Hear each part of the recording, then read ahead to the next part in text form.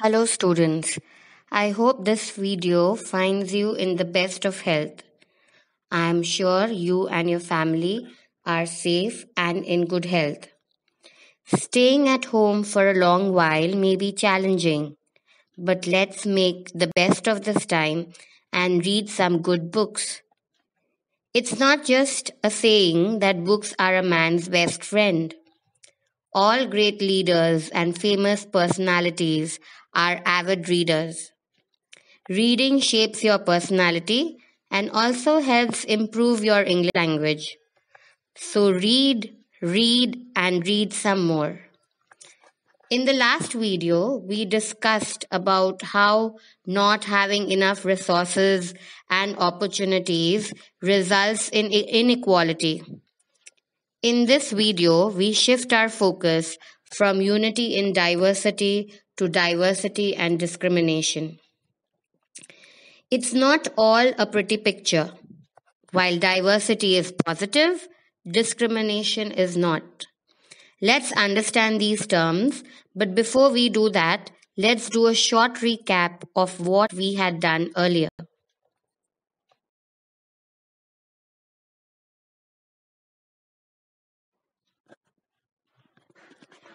In the previous chapter, we had studied about diversity, how both geographical and historical factors shape us and our lives.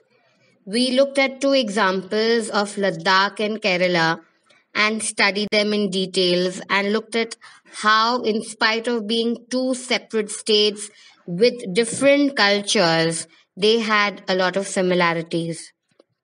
We also studied how India's diversity is an example for everyone to follow. We found out that a freedom struggle is an example of how the whole country, as one, came together in spite of different religions, cultures, to free in India from the shackles of the British Empire. We learned that India is a land of many religions. In fact, Eight of the major religions around the world are practiced in India. We have more than 1600 languages that are people's mother tongues, and there are more than 100 dance forms.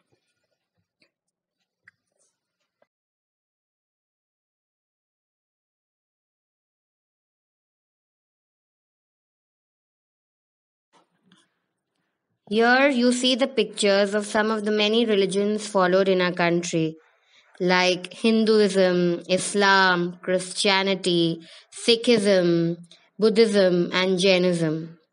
So many languages spoken in India, like Bengali, Hindi, Tamil, Marathi, Gujarati, Telugu, and so on.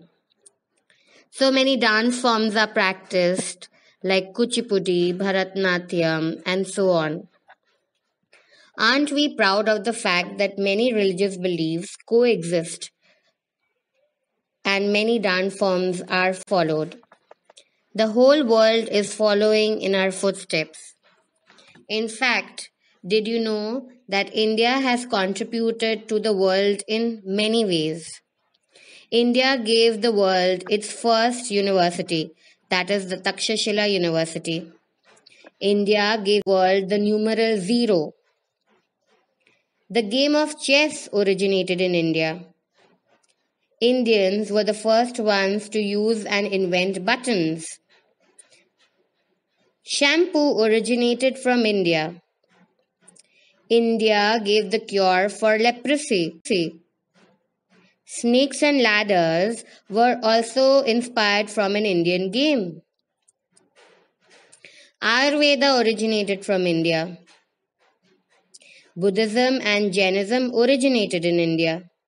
I can go on and on and on. The list is endless. So we should be proud of the fact that we are Indians and proud of the fact that India is a land of diversity.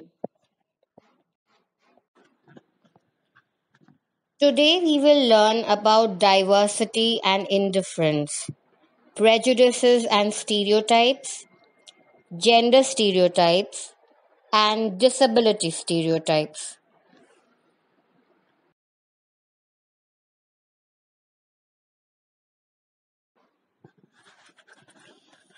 It is unfortunate that diversity is not always welcome. Some people think or perceive diversity as a threat or danger to their identity. For example, if there is a new student in your class you may find it difficult to be friends with him or her. But after a while, when you realize that he is of the same age as you are, he shares same interests as yours, you will extend a hand of friendship knowing that he or she may or may not follow the same religion as yours or come from a different background. However, some students may still not want him or her around. Let's see why. Mostly because we feel safe and secure with people who look, talk, dress, and think like us.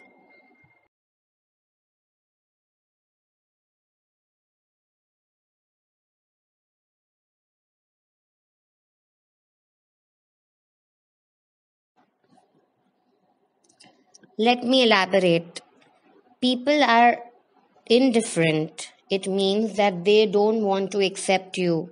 They refuse to accept you as a part of the society or circle. Sometimes, when we meet people who are very different from us, we may find them strange and unfamiliar. At times, we may not understand or know the reasons why they are different from us.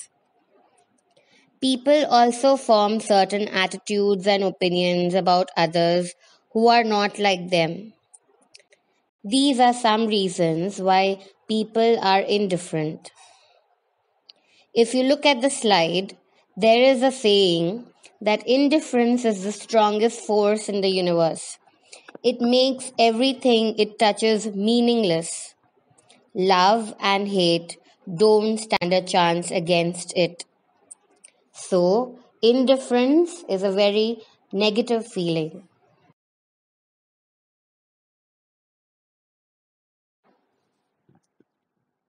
You may have heard uh, from many adults, they say that villagers are uh, ignorant, meaning that they are not aware of many things and that they are superstitious. And people in the cities are money minded, lazy, and cunning. When our opinions about certain people are always negative, seeing them as lazy, cunning, stingy, then these become prejudices that we carry about them.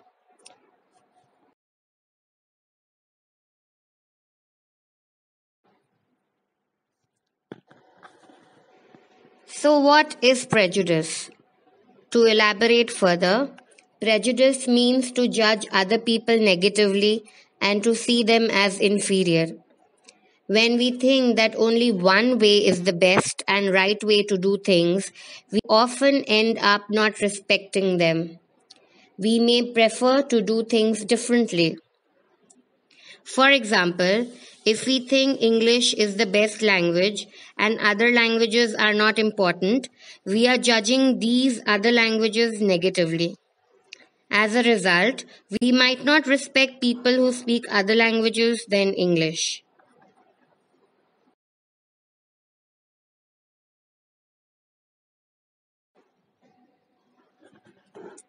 Well, what can we be prejudiced about?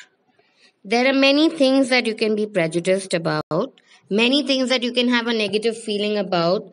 For example, people's religious beliefs, the color of the skin, the religion they come from, the accent they speak in, the clothes they wear, and so on. Because of this negative feeling, sometimes we don't want to make friendship with them. Sometimes we may hurt them with our actions or our words, which is very, very negative.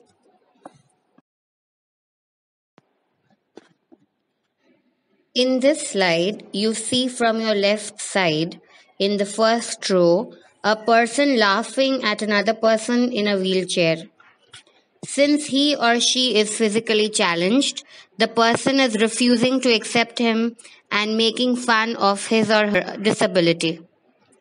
The second picture you see shows that three people are refusing to accept the person who is not their kind.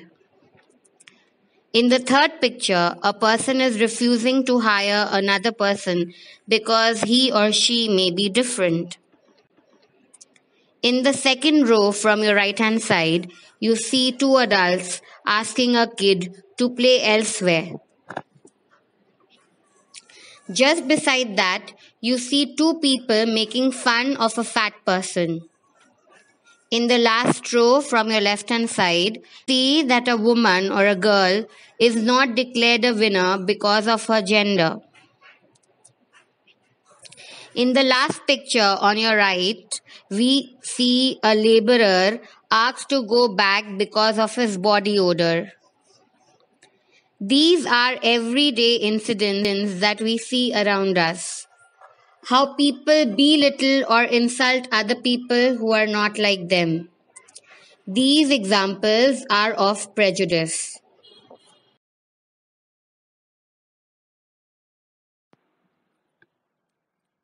Now let's understand stereotypes. All of us are familiar with gender differences. What does it mean to be a boy or a girl? For example, let's look at the statement, they don't cry. You'll see that this is a quality that is generally associated with boys or men. As babies or children, when boys fall or hurt themselves, their parents and other family members often console them by saying, Don't cry. You are not a girl. Boys are brave. They don't cry. As boys grow older, they learn or teach themselves not to cry. Boys are expected to behave a certain way, and girls too are expected to follow certain rules. We fit all boys and girls into an image that society creates around us. That is what is a stereotype. When we fix people into one image, we create a stereotype. Stereotypes stop us from looking at each person as a unique individual with his or her own special qualities and skills that are different from others. In short, Stereotypes are a hurdle or an obstacle to diversity. They fit large numbers of people into only one pattern or type. Stereotypes affect us from doing certain things that we might otherwise be good at.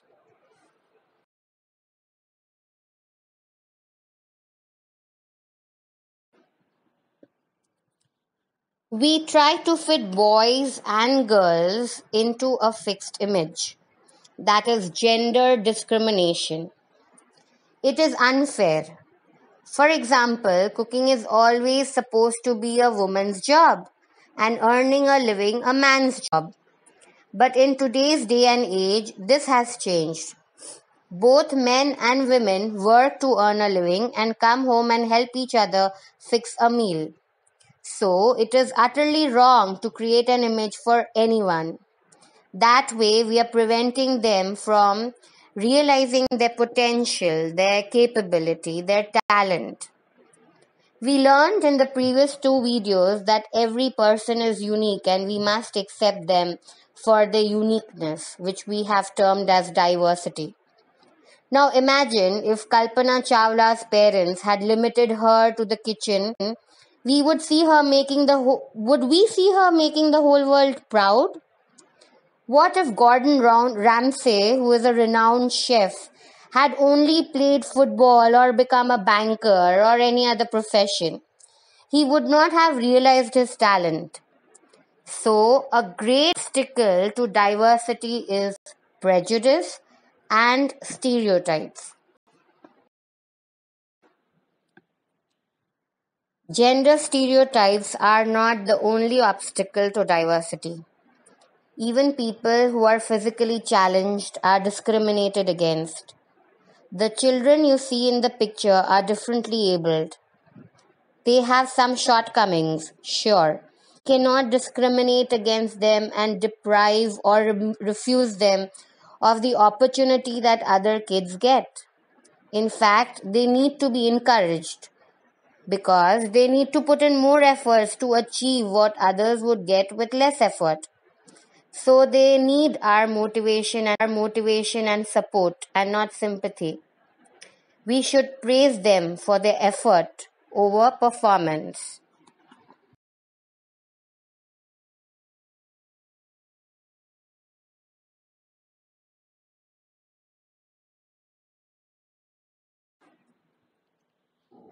UNICEF, that is United Nations International Children's Emergency Fund, tackles this discrimination that keeps children with disabilities isolated, meaning separate. They support training to change mindsets and develop skills among the medical staff, teachers, and social workers. They are working really hard to change public attitudes towards disability. In India, persons with disabilities comprise of at least 4 to 8% of the population. Did you know that the Article 15 of the Indian Constitution restricts anyone to discriminate against any citizen of India on the grounds of disability, religion, race, caste, gender, or place of birth? Every person, including the disabled, has his or her life and liberty, which is freedom, guaranteed under Article 21 of the Constitution. The children that you saw in the previous slide are seen as disabled. This term has been changed and it is used as children with special needs. In the next video, we will learn about inequality and discrimination. We will learn about how people are discriminated, how Dr. Bhimrao Ambedkar, who is the father of the Indian Constitution, fought for the rights of the Dalit community. We will also learn how, even after becoming a free nation, inequality was still ruling our country. And lastly, we will learn about the preamble to the Constitution. So, till then, stay tuned, stay safe, and don't forget to read. Thank you for listening. Bye.